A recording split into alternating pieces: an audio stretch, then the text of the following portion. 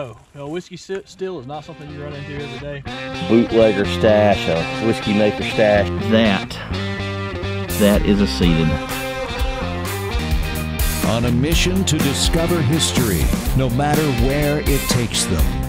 You're now live with the History Seekers. It's really a pretty good hill. And there was a house place right up there. And we found some uh, seated half dimes, some old bottles and stuff up on top of that. So we're gonna get down in here. Walk with me just a second. Check this out. We are going to detect through here today and it's a little muddy. We've had a lot of rain. The creek's flowing, and this is actually a spring. It comes out of the mountain right there. So uh, they they wash their clothes down here too. So we found bottles from the 1850s, 1860s down here. There could be some more coins. We're gonna get down here. We've never metal detected right here. So we're gonna check this. May find something. Maybe we'll find some old bottles. Let's see what we find. All right, guys, this is one of the places the uh, it actually goes under, it comes out from the ground. And we're down in this valley. So the camera doesn't do these hills justice, but uh, we're down in this valley. that's where the creek comes out of the side of the mountain in one place. And on up, it comes out again up there. Let's walk up there, see what it looks like where it comes out. It would be cool if we had something we could send up in there. There's no telling what's in there. All right, guys, my first good target of the day with the Equinox silver. I can see the rim right there. Right there. Let's pull it out and see what it is. We've dug a lot of barbers here in the past. All right. One dime, so that's probably going to be a barber. No, that is not a barber. That that is a seated 1883 I think Man, I can't I can't see it no eight it's either 1883 or 1 I can't tell all right that is freaking cool uh, we found a few seated here before, not many. Most of the coins that come here are mercs or barbers. Uh, this house dated back to the 1800s, so uh, about the Civil War. So, but we haven't found a lot of seateds here because the South was broke after the Civil War. So, uh, that is that is cool. That is really cool. We'll take that, and we're gonna keep searching. Um, there's a storage building there. You can't see it for that tree, but there's an old chimney up there. That's part of the original house, and uh, gonna get Brandon from Adventure Archaeology right over in there bottle dump, we think, uh, and maybe a privy. We're going to look for that probably this week too. So.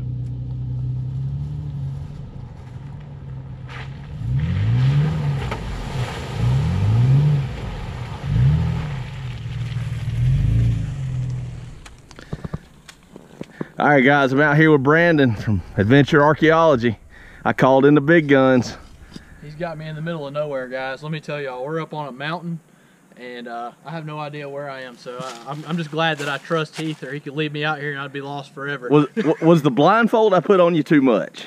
No, I mean I, I don't blame you. When you got a spot this good, you got to protect it.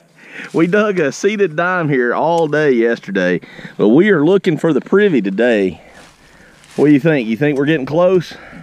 I think you're on it over here. He said he found these rocks over here and he thought that that might have been where the privy was and we were a little bit worried about it being filled with rocks but you can kind of see it's a little stiff in the top but after you get so far it really loosens up down in there but like I said we're on a mountain so the rock is kind of messing with the soil a little bit I haven't heard any glass yet so we're kind of moving around so what we're going to do is we're just kind of spiral out from this area because what would have happened is they would have moved that privy over a little bit at a time. So yeah. there's going to be multiple holes here, and uh, once we hear glass, we'll know for sure that we're there or not. Well, Heath, we found uh, what looks to be a whiskey still. Yes, it does. Uh, we thought it was just a, a barrel, just you know, just trash out in the woods, and you get you get up closer to it and look at this. Yeah. Look at that. That's indicative. yeah, it is. What's that? You know, I used to work uh, with the state, and I worked a lot of alcohol stuff to begin with, and before I went to narcotics. Yeah. And we actually would shoot holes and take axes and and mash and and poach poke holes in those Yeah. barrels. Yeah. So that could be what that was from, where they disabled it. Yeah. The rev- the revenuers. Yeah. Brandon, you guys see a lot of that down there digging bottles. No, no whiskey still is not something you run into every day. Uh, this is my first. I think it's really cool though because I'm I'm in agreement with you. They either took an axe or a baseball bat, and they smashed that back during the 20s. Get a close up look at this. Look at the patina on this. Oh uh, yeah, on it's that. I been mean, laying beautiful. here. It's been laying here for a long time. The creek's right down there. To find a whiskey still, guys, you got to have running water. You got to have cool water. And the uh, cool right there. Yeah, it's just right down there. So it's part of it. Uh, you know, we look around. That guys, they would have been a copper coil. So what we need to do, we need to get the metal detectors, detect around, see if we can find that copper coil, because that is was one of the key elements of a whiskey still. Yeah.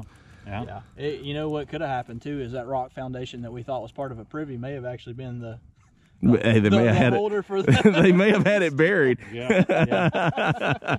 hey, hand me that tin can over there, Brandon. Oh yeah, check I'm that gonna out. Take, I'm gonna take me a little pull. I'm gonna. Yeah, see see if you can get just a little bit out of it. Yeah. hey, what's cool about that is somebody opened that with a pocket. Yeah. Look at that. Oh yeah, yeah. They stuck a pocket knife down in there. Yeah. That is wild. I don't know if that's do you think associated with the still or Was not. that corn mash? Maybe. I don't know. Oh, they man, where we are, they got the corn fresh. All right, guys, let's find the rest of it. See if we can find that uh, that copper coil. All right, I got a good 27 signal now.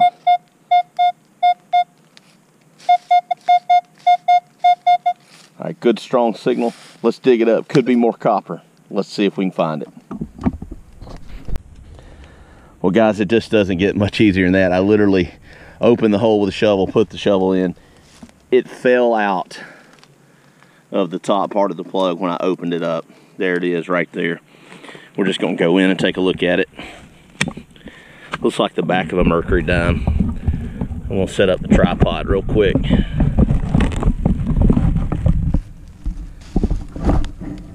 Sorry about the, the bumpy guys, but you're right here with me. All right, that is definitely the back of a mercury dime. What year will it be? Oh, dropped it. It looks like a 16. All right, that's the first one for today. This could be part of it. I don't know. It's definitely time period. Definitely time period. Check this out. Check this out. Pan across. Right there is the steel, or part of the steel. That's not all the steel. That's just part of it. Uh, we've already found some copper. So we're looking for more parts of the steel, and we find this mercury dime. Looks like a 1916 or so. Uh, we're going to clean it up. My eyes are bad, so I'll have to get home to really get a close look at it. I don't know if you can see it on camera or not, but uh, we're going to keep uh, going, see if we can find some more stuff here. Uh, we may be in a little hot spot. Now it's 2930, so it's a little higher. Let's see what it is. We got the hole open. Let's see what we can find.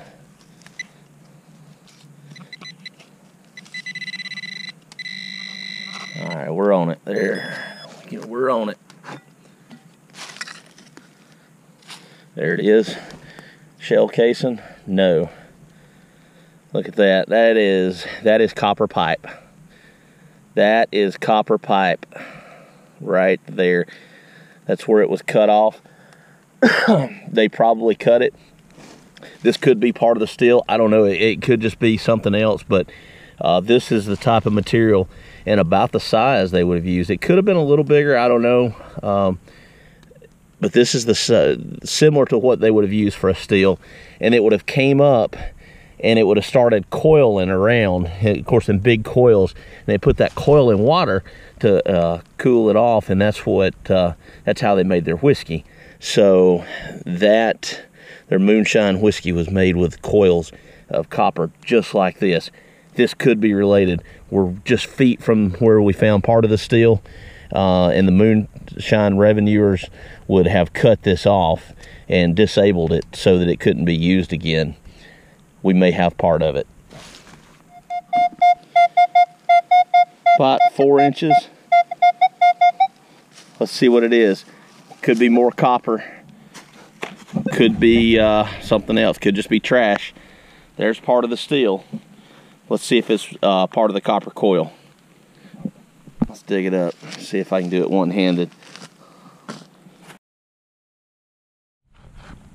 All right, guys, we got the hole open.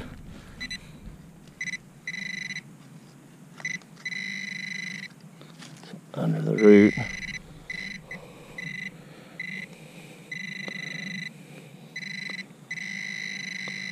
Oh, there it is, right there. Oh, no wonder it was given a lower signal. That's a mercury dime. Let's see what year it is. See if we can tell. Just a mercury dime, but man, look at that. I bet it was on edge. Normally these mercury dimes will give a 27 on this Equinox, but if they're turned so it's just hitting the rim or just the edge of it, that could give that lower signal. Let's see what year it is. I can't tell. It's either a 19, I think it's a 1918 or 1916. I, um, I think, no, I'm sorry, maybe a 1919. There we go. That's that's cool right there. You know though, people carried these in their pockets for, you know, sometime 10, 15 years. So not sure when it was dropped, but it's over here by this steel. Could it have been used maybe somebody purchasing? I mean, or could it been who was making the whiskey drop this? I, don't know. But uh, it is definitely time period. It matches what uh, the other stuff that we're finding. I'll take that every day. Guys, we found another mason jar lid. Uh, these things are popping out like crazy. This one was just under the surface. Uh, let us know, guys, if uh, if you think that these mason jars were used as part of this whiskey operation. Uh, it, the barrel doesn't look big. I don't think it was a big operation, but uh, there's definitely several mason jars around it. Uh, let us know in the comments down below what you think and uh, we're going to randomly draw somebody and uh, send you guys one of these mason jar lids and one of these mercury dimes that you saw found on film. Comment down below. Let us know what you think. All right, guys, I put my gloves on for this. I usually wear gloves, but I found the top of what I know to be a common mason jar. Now, I haven't went on down. Could this be a mason jar full of silver coins? a bootlegger stash, a whiskey maker stash. I don't know. We'll see. I doubt it. But, uh, you know, one can dream. So let's pry it out. Well, we can tell right away that it's not whole. But it had been at one time. Look, there's the glass from it. There's the glass. So we're going to stick our pin pointer in here and double check. Yeah, that's a mason jar. It's a ball mason jar lid everybody thinks about moonshine they think about those old-timey looking jugs with the with the finger hole on them that's not always the case down south anybody that knows anything about prohibition and the whiskey era most of the time the whiskey was put in ball mason jar lids and uh, that's that's one of them right there and look there we go still got the insert in it Still got the porcelain insert in it. So uh, I'm guessing this is going to be Prohibition era. We find we're finding a lot of these. These are commonly found around whiskey stills, especially old ones. All right, I'm to move this class up. We're to get that out of the woods. All right, so now let's stick the pinpoint in here. There should, if there's silver in here, maybe maybe we'll find it. Right, there's something else in there. Could it be silver? But we're gonna dig it out just to make sure. Wouldn't want to leave a bunch of silver coins in the ground, would we? That'd be horrible. Scott Duncan come along next time and find it all. I don't think so, Scott. I don't think so, buddy. If it's silver, I'm getting it.